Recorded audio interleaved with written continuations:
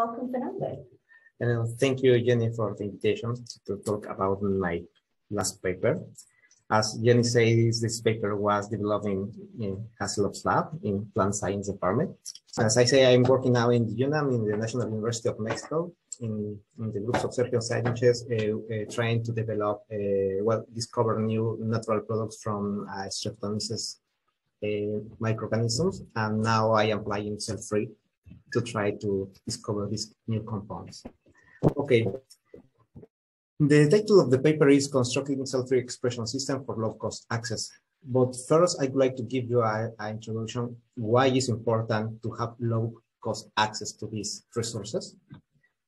Well, uh, we are at the beginning of the new biotechnological era. Along the history of the humanity, many milestones in the history has happened. The most important one, the most famous, is during the Industrial Revolution, but now we are in the overlapping uh, phase between electronics, informatics, and biology. Between this uh, intersection, we have now a field that we call synthetic biology or, and also genetic engineering. Uh, but what is synthetic biology? Basically, in short, in a few words, synthetic biology is the overlapping between biology and engineering in order to develop standardized tools to uh, research uh, and answer questions in a standardized way. So the synthetic biology fo follows this approach, the uh, design, building, test, and learn. And this is really important the, in synthetic biology, we want to have standardized tools because if we compare with what happens during the uh, industrial revolutions, uh, Fernando, the, I don't think your slide is working properly. A factory divided in many sections, and one department was mm, taken take care of a specific part, and after they pull together and ensemble to have steam machines and this kind of stuff. Thank you to this, we can be the innovators and the early adapters. For instance, modular cloning uh, or loop assembly is one of these techniques that we have here that has allowed us to go to uh, more complex techniques like CRISPR-Cas. So, but why is it expensive to work or trying to work in these fields, in synthetic biology and engineering, in particular in low uh, and middle income countries like could be in Mexico, my home country? Well, this is because the regions and the equipment is expensive. If you can imagine, for instance, if I talking what's happening in Mexico, uh, a region that costs here in UK 100 pounds, we can uh, we have to buy it like four times, even seven times more expensive. So, which is a huge disadvantage. And if we wanted to do synthetic biology, we have to think about enzymes and also synthetic DNA because basically all synthetic biology is based on this. But also we have to develop skills as a difference between countries like UK. In Mexico, most of the, the, the, the main force of research is made by the students, not by postdocs or or, other researchers. So that means that we have to train people if we want to put these people inside in the research.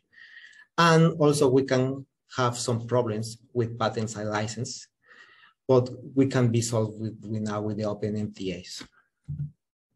But why is important synthetic biology? Well, synthetic biology has allows to produce the proteins. Proteins are the tools of the lives, and they are important for many Eh, purposes. For instance, biochemical reactions, we can use enzymes to produce sugars, amino acids, antibodies to detect pathogens, or proteins that can move, we can that allows to move some materials. And the proteins allows to solve problems in the real world. So medicines, research, biofields.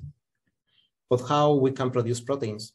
Well, as you know, the proteins are encoded in the genome. So basically uh, a gene encodes for a protein and the proteins can have their own activity or they can work together to have an active protein. And if we want to produce this protein for research or for any purpose, we have to produce maybe in a, in a, in, in a, live system. The traditional uh, system is to have the protein, uh, take a strain that we want to select, codon optimize, put in a plasmid, choose a strong promoter or this promoter that is better for us, transform and test, design and build. And sometimes it takes times and money to do it. So there is an alternative that can allow us to do this prototyping really fast and in a cheap way, which is cell-free.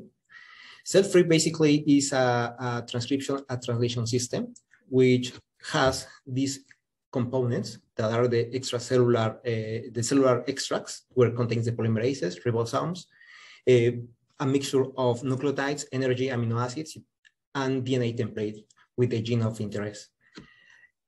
The one of the main parts or why it's expensive if we consider that cell-free is because they use this energy source, particularly PET and creatine phosphate are one of the most expensive, which is a problem.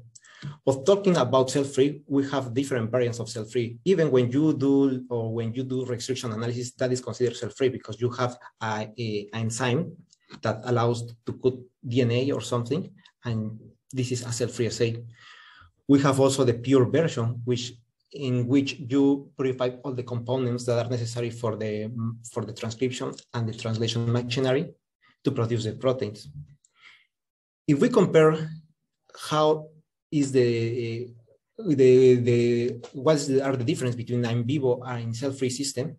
Basically, in vivo system can allow us to have a, a useful or active protein after one or two weeks because as I, say, we have to transform, grow the cells, lyse the cells, and produce the components. But in cell-free, we can like split into parts. So in the first, in the square that are in your right, you can see that we grow the cells and we disrupt the cells and we store the extracts, which is really important because now we can keep for even for years in a freezer and after use when we need it. And after use, we just as energy mixture with the DNA and we can produce proteins in one, two days.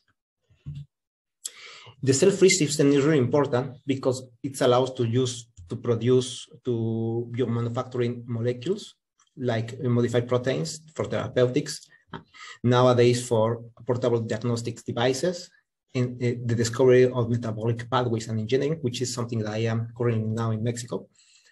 And in, and this kind of stuff. So for instance, I'm going to tell an example that maybe you have read this paper, but for the the year from the 2016, so six years ago, they these authors partly developed a, a device that they call low cost diagnostic device, which at this time was really good because they allow us to have a sensor to detect based on two holes uh, the, the Zika virus.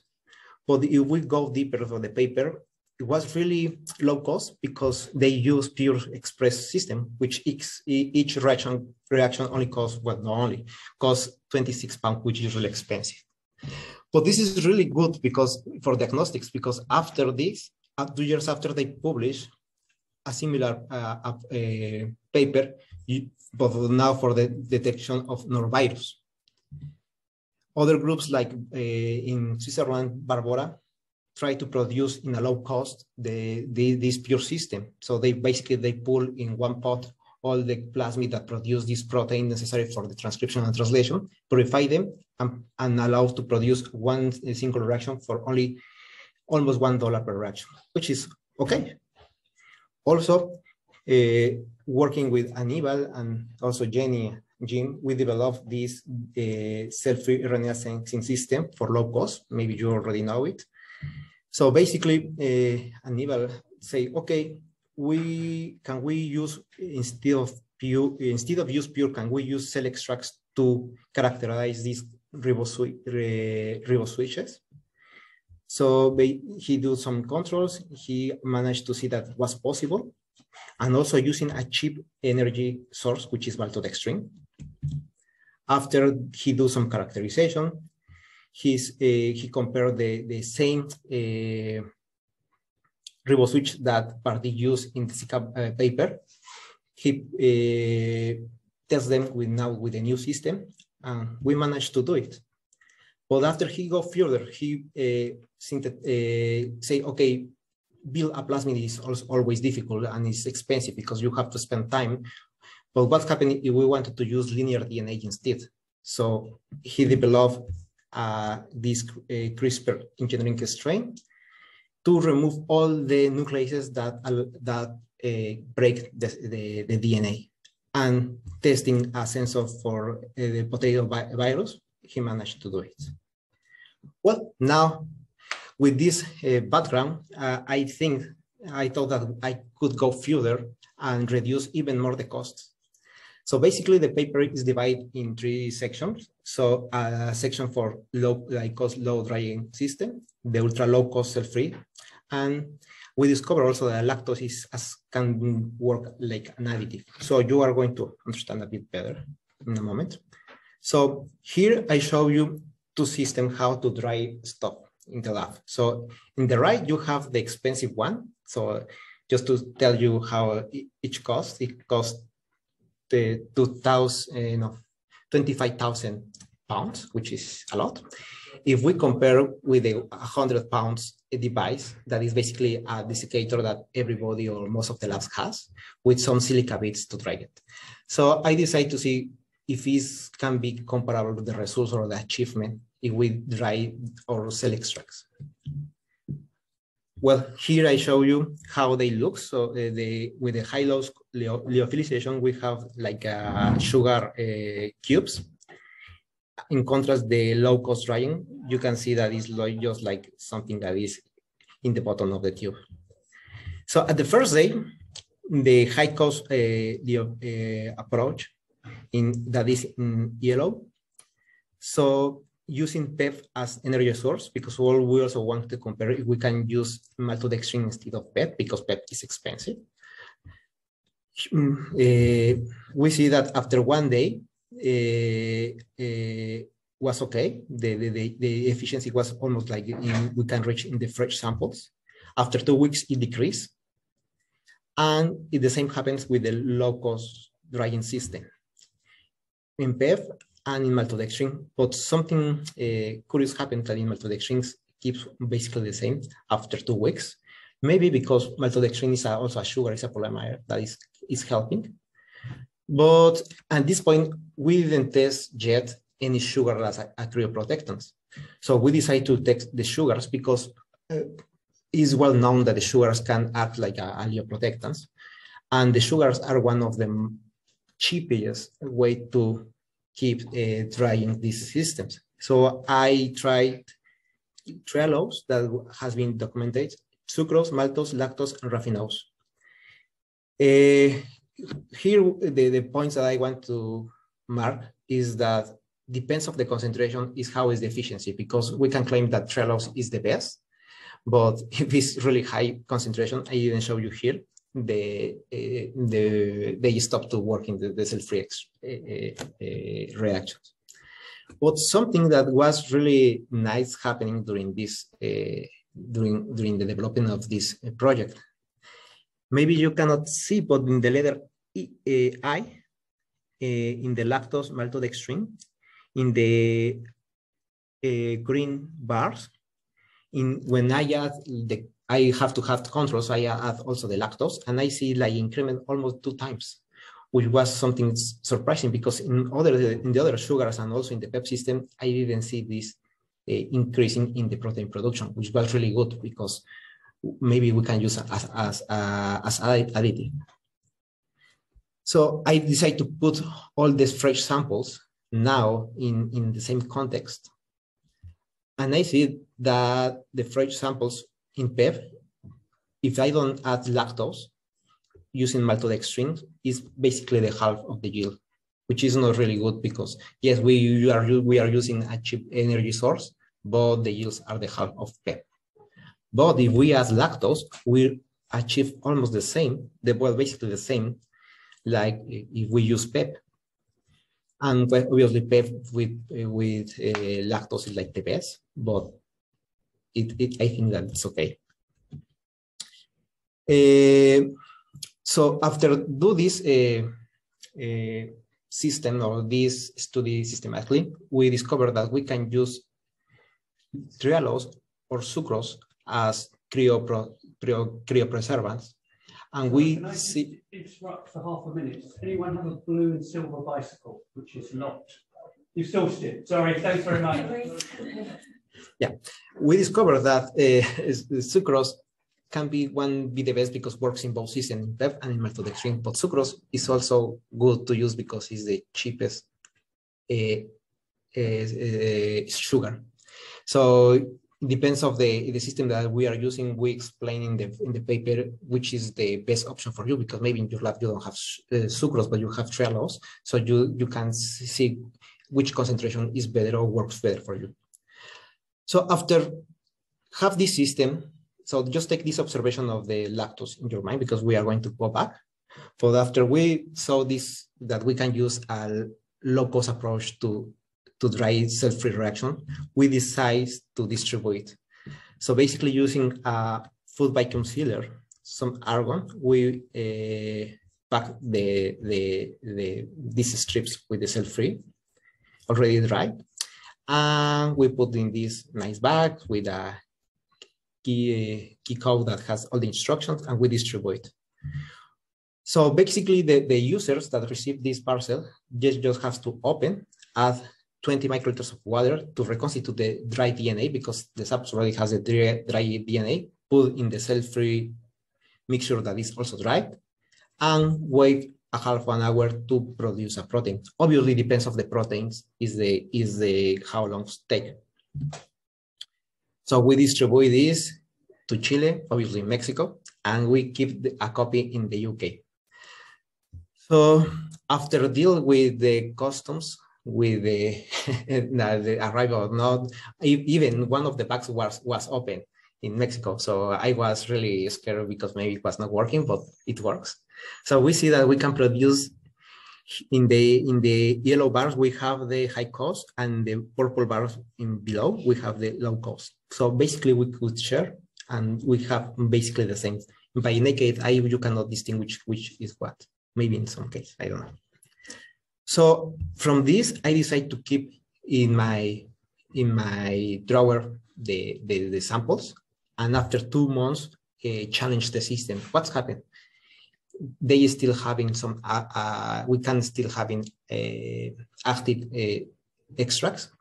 Well, after four months, what's, what's happened that obviously the, um, as I expected, the high cost lyophilization system has the better yields, but the low cost drying is really well. So he, they really uh, do really well. So I think that if we compare the initial cost, how uh, how you want to spend for a for a dryer, a, a, a professional dryer versus the this equipment, but it's worth to use.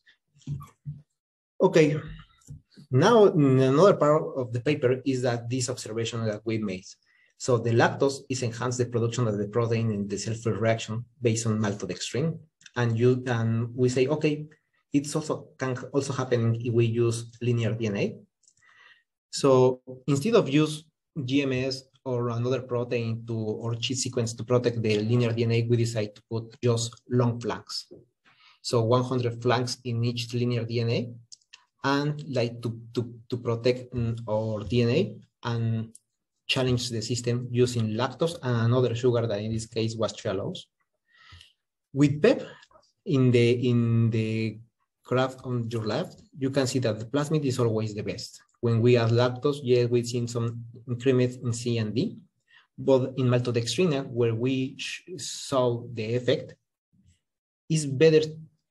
The uh, the achievement is better that if we use the, just the plasmid. So just take in mind that we are not using plasmid plus uh, lactose because plasmid plus lactose is bigger. So just a plasmid, and we are challenged between linear DNA plus lactose, and we reach this 30 uh, micromolar of superfold GFP.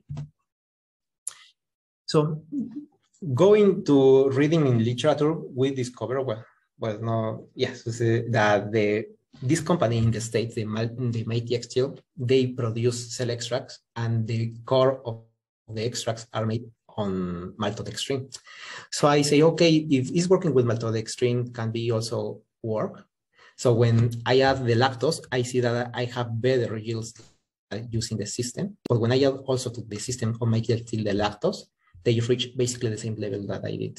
So basically the company can use lactose now to improve their own stuff.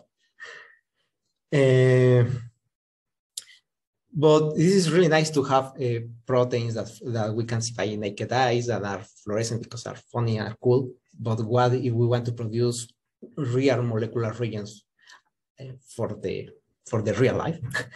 after the pandemic, you know that the LAMP is becoming uh, really famous. So everybody wanted to do LAMP.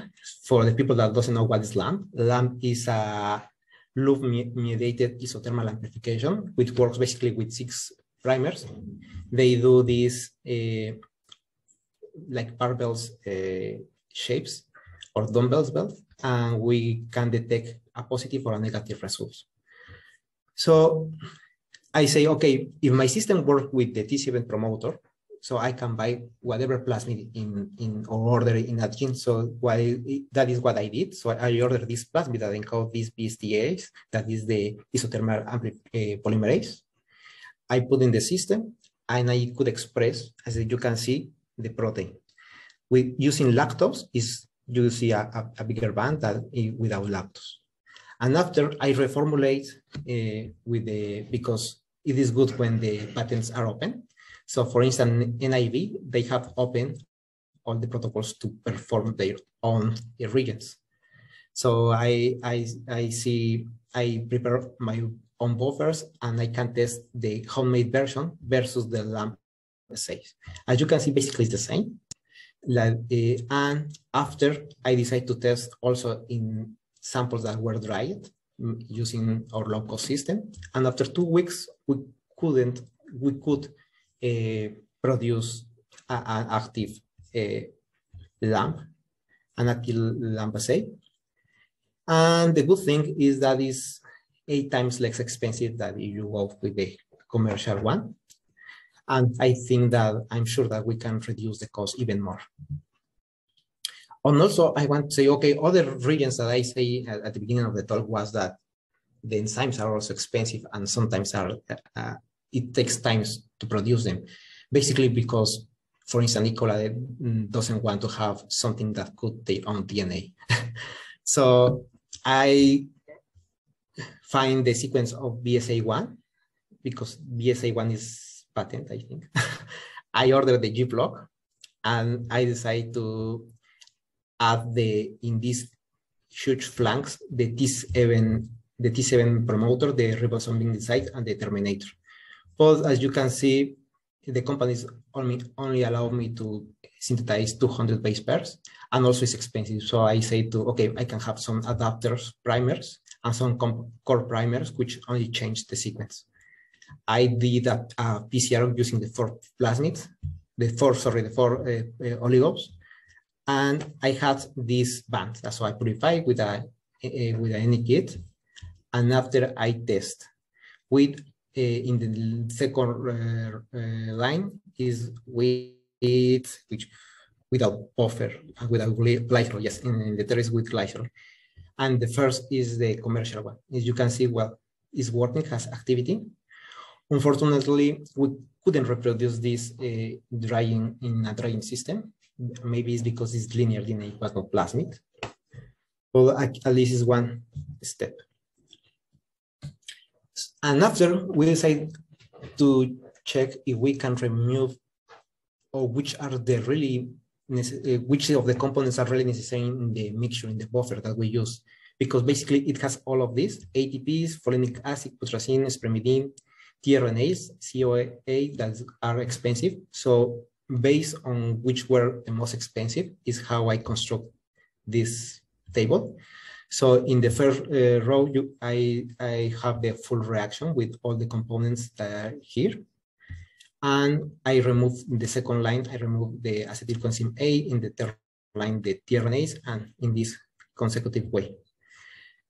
So as there are no, there are some that are not really essential. So for instance, I can't use a without tRNAs and acetylcoenzyme in my uh, reaction and the performance the, the performance is to be the same basically. And there are i call no essentials uh, and I, I, there are another that are beneficial like spermidine or some nucleotides. But that is was something that was really surprising for me because when i remove all of them basically without removing the atp i still having the production or at 40% if I compare with it 100%, which is really good because removing basically all the stuff and, and have protein production was something that was really good and interesting, but was not happening in maltodextrin, which was, so, was something curious. But at this point, we could develop an ultra low cost system because removing this is really, really basically the half of the price. And this can be use, useful at least for teaching because you can see in your left right side, we have without NITPs and the full reaction. And for a classroom, I think that it's okay. Okay, we decide to say, okay, what is happening? Uh, uh, uh, in both cases, in, in this table, I show you when I add lactose with and without lactose, because as I explained before, is an additive. And yes, you can see that with maltodextrin is always a power. um, here in the left side, you can see the ultra low cost system. The, the, the, the yield basically are the half, well, 40% of, of the total. Uh, in blue is nothing, no ATPs, no lactose, is less. So the, from this blue line to the purple line, just the lactose gives us this jump to have a ultra low cost system. Uh, we perform some mass spec because to see what's happening. So in the here I show you based on PEP without lactose and with lactose what is happening. So there is, uh, as you can see, there is a, a, a synthesis of nucleotides, which is really good and something that we didn't expect that we still having in the extracts this activity. And also there is a consumption of pyruvate when they have lactose. So something in the metabolisms, but I cannot say from the bacteria because it's no more bacteria problem. The self-free reaction is happening. You, do you remember that I told you that in maltodextrin doesn't happen, the production or is not sustainable, the, pro, the proteins? It's not sustainable, but the synthesis of nucleotides is happening. So something in, in the metabolism is happening because I, I assume that because PEP in the in Krebs cycles is closer that in maltodextrin. Maltodextrin pathway basically is the same like the pathway, the, like the pathway that use PEP, but far away. So something is happening. So as you can see, the, there is active uh, synthesis of nucleotides, monophosphate nucleotides also, they are moving, and also there is a consumption of pyruvate, so there is moving. So here I show you the control. The control is basically the extracts without uh, anything more, with no uh, or maltodextrin, just the extracts. So they don't have any, any activity. But how much costs to perform a self reaction with our improved method? Well, we can go, uh, we can uh, even optimize the prices. If we, for instance, if we decide to use for Sigma, each reaction can cost almost uh, 0.06 reaction uh, pounds per reaction. But if we go for a, a cheaper suppliers that maybe nobody knows, they have the same activity and the, the prices are can be reduced. For instance, one gram of, of, of PEP, if we buy in Sigma, costs uh, 285 uh, pounds by, per gram but only 12 pounds if we buy by the supplier. In maltodextrin, the, the reaction is, uh, is basically more or, less, more or less in the same ratio. But if you can see in the, the pie charts, the gray part is the nucleotide mix that we remove in ultra in our ultra low cost system that is in the panel number T.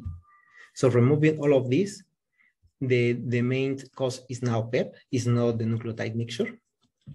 And here, based on here is based on sigma, but if we change to sigma to alpha SR, just one reaction costs 0.02 uh, pounds, which is really nothing. and basically, the, as I say, the cell extract now is the main, the main uh, uh, is the most expensive now the PEP is not. And if we compare, for instance, with my MyTXTel, we have reduced using ultra low cost system 200 times. If we compare with pure system, pure, you remember that is really, really expensive, is 600 times, 800 times. So the numbers are really crazy. And well, the perspective is to adopt the self-free state technology to research and teaching labs, produce molecular reagents for diagnostics teaching. All the protocols are more explained and are already linked to protocols IO, so everybody can use. And this is something that is can be used in the is is make me happy because we can in the low and middle income countries we can do science, the science that actually are doing in the spacecraft. So now they are using cell-free to produce their own proteins that they are going to use in the space. So which is really good. And the last thing that I did when I was in, during my time in Cambridge was to develop more educational resources. So I have some chromoprotein using the ultra low cost system, some uh, uh, dual reporters that basically has a, a LACSET and GFP. So we, you can put the, the UV lamp, see the GFP, and have the, the substrate to produce this reaction, this colorful thing, and also produce uh, some nice compounds. And the take-home message is basically this. we have produced active compounds without adding nucleotides, which is really good. We drop the cost we discovered that uh, the lactose increases the production of proteins in a maltodextrin system, and the silicon beads can be used as an alternative for the to preserve cell-free reactions. And just I want to thank you to all the consortium that I belong to, uh, is the local Biodiagnostics uh, Consortium, which was hit by Jim Ayoka, Jim Hasselhoff, Paul Freeman, Stephen Hughes, uh, Jen Molloy, and all my lab members in Hasselhoff's labs, that they always look me weird because was the guy that doesn't work with plants in plant science and all the funding. Thank you. Everybody, so um, time for any questions or questions. So I think for people in the room, just pop your hand up, and also people on the on the Zoom, just feel free to put your virtual hand up and we'll call on you because I think it'd be good to actually state the question. Um, we haven't tried the uh, sound in here yet, so we may have to relay it. We'll see. It may come out of your laptop. This work. Um, so I think we'll we'll hand one question to people in the room to start off with, and then we'll move to the Zoom channel. Um, so anyone in the room got a question or comment for Fernando on the paper? Facundo is the purification of protein from cell-free extract compared to normal. If you could just repeat the question for the Zoom. So the question is, how is the strategy to produce proteins using cell-free versus the commercial? Yeah, the, the purification step. Well, the purification is basically the same. So, for instance, if I use, if I want to purify a protein producing cell-free, I can use nickel columns that are like spin columns if it's a, a, small amount, or I can use agarose bits to use. So basically you have the protein. So it's, it's when you purify, basically you just uh, have, uh, you you jump some steps because if you produce in a heterologous way, you have to disrupt the cells, but you already have disrupt the cells, so you have to go the process. That's easier. I wonder if, the shield is much. Well, it always depends of the of the protein. For instance, this was using Superfold GFP, but in terms we can achieve until three milligrams per ml of protein of GFP, but obviously depends uh, because uh, in theory we you don't we use cell free we can manage to produce proteins that are not that, can that can go to inclusion body, but it's also it also could happen depending on the nature of the protein. Okay, So just a big follow-up to this question. In your final slides where you compared the cost per reaction of um, your in-house proteins versus the commercial products, um, you compare the differences between the cheap two pence in-house and then the six pence commercial regions you used? Well, uh, here they ask me if I compare the yields between the commercial uh, products versus the my homemade products, and the the the numbers are made on just how cost to produce the protein. But if we remember, there is one slide where I compare with maltodextrin. And I will show you, what is the last slide? Here, here I'm comparing the yields. If you see the yields uh, that is in the, with number, with letter E, my yields still, if is basically are the same, the commercial, that mine. If I add lactose, I have better results and I also can improve the commercial using lactose. So uh, this is per reaction, right? Yes, this is per reaction. So oh, this is the concentration per reaction, but obviously you have to think in mind change the volume because the volume is 12 microliters. it looks like this is a lot, but yes, it's just the concentration in 12 microliters. um, so Akash has a has a question. I think Akash, you can unmute. So I don't know yeah, sure. It's good to see you again, Fernando. Uh, yes, Akash, I uh, cannot help, uh, hear you. Uh, is that better? Can you hear me now? No, I cannot hear. Um, is your mic, is your um, computer muted? My computer no. is not muted, but Akash computer. I'm I'm don't think I'm muted, oh, so. Because um, Akash, uh, we're just gonna. Could you mute your microphone? I will mute. Is that better? So now you can hear me, but I can't hear Fernando. Wait, Fernando, if you talk, can I hear you? Wait. So I can, I can. You, if you just ask the question, then Fernando can unmute and answer you. We basically have a one-way system on on sound coming out at this end. Okay, that makes sense. Um, yeah, it's uh, basically I I liked the fact that you could just uh, systematically remove all the things to reduce the costs. Uh, I was wondering. Uh, I know Annabelle was doing some was Annabelle doing some stuff with uh, doing some CRISPR uh, I stuff to kind of remove the nucleases.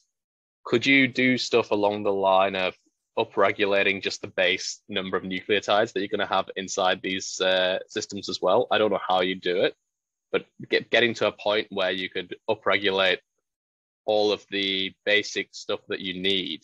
So you only have to do a self remix and then have a your ultra cost low cost system having a similar level of performance without adding all the additives that you normally add.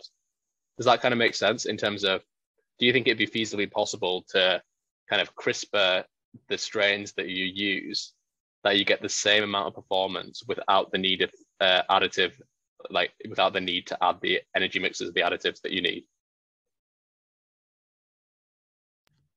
Hi, Akash. nice to see you.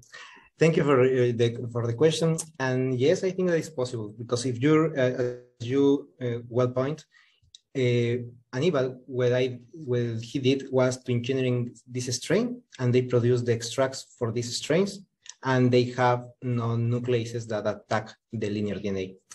And it's possible because actually there's, if you wanted to produce more complex proteins, for instance, some that has a disulfur, disulfur bonds, you need to use chaperones. So nowadays, the, the in the cell-free, you have to produce your, you have to add in your cell-free some chaperones, but there are now new alternatives that say, okay, maybe I can uh, transform my plasmid in the E. coli strain, produce the grow the cells and disrupt, and I assume or we assume that these chaperones, these proteins, are inside that they improve the, the cell-free reaction. So yes, it depends. Uh, and, and, this can be also useful for work in, in eukaryotic cells. Uh, yeah, it, it, it would be really cool if we can engineering more, more strains. Actually, there is another uh, really cool strain from the ST group, I think, that they have the autolysis strain. So the engineering the strain, they put a plasmid and the list and the strain is autolysis. So you don't need to use even a sonicator or something and you have your own struct. So it depends which is the chassis that you choose. Yeah, I, uh, yeah, I suppose it is a balance of working out how much you can do to E. coli before you're like, okay, let's do Pichia cell free or let's do cerevisiae cell free or mammalian cell free. So, because I've now moved to a lab where, so I'm technically a postdoc, but I haven't submitted yet, Fernando. So I'm a, I'm in a weird position. Um, but I'm I'm working in a lab where they do a lot of Pichia cell free and they do a lot of um, well, trying to do a lot of like CHO cell free as well. Uh, and it seems so painful. I'm not doing it, thank I'm very happy I'm not doing it, but uh, yeah, it seems so painful. So, be really curious to see if you could get E. coli to the level where you don't need to use the more complex cell-free methods.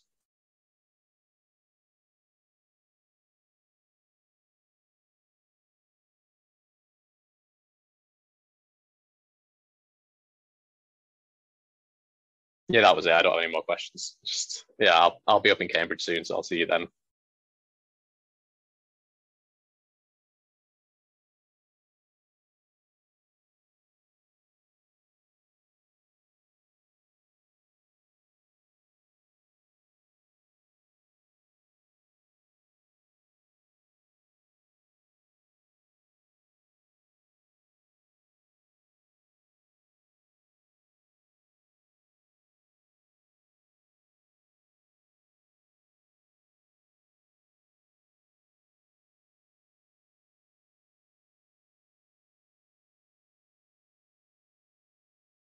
Yes, repeat please. No. Uh, I was just responding to what Akash was saying. There, there are some papers where, where they've overexpressed nucleotide kinase enzymes and then prepared um, cell-free extract from that. And they weren't using it for the, the NTP synthesis, they were using it for DNTP so they could use it for PCR. But the enzymes are the same ones that do the, the NTP regeneration and the DNTP regeneration. So you could you could overexpress the enzymes and, and prepare the, the cell-free extract from that. Yes, it's something that the, actually there is this paper from ah, which is the group where you are, that they basically they produce the fusion protein, the polymerase, just breaking the cells and put the direct extracts. So I think that the imagination is like the limit how you can use. The advantage of cell-free, as I see, is the prototyping is faster. You can keep in your freezer to perform only once the extracts and after you you are concerned more about to produce the plasma. Yes. I have a question.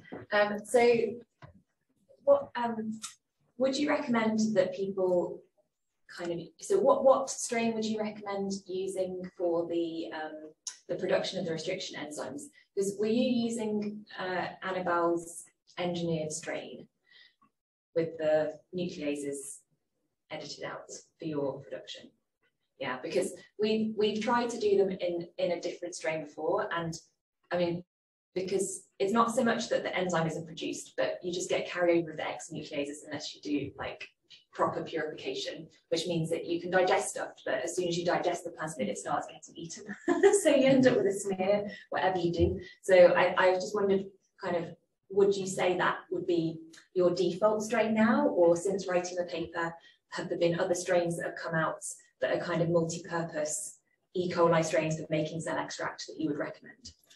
Well, for the cell extracts, I really recommend the, I think the, the better so far is the BL1, uh, BL21D start from uh, Invitrogen. And it's really nice because, for instance, now in Mexico, we are doing, do, using cell-free to, to genes that has really high content of GCs because it's from streptomyces, one of the characteristics of the streptomyces, and they have tested in other strain like Rosetta, and they don't work. It.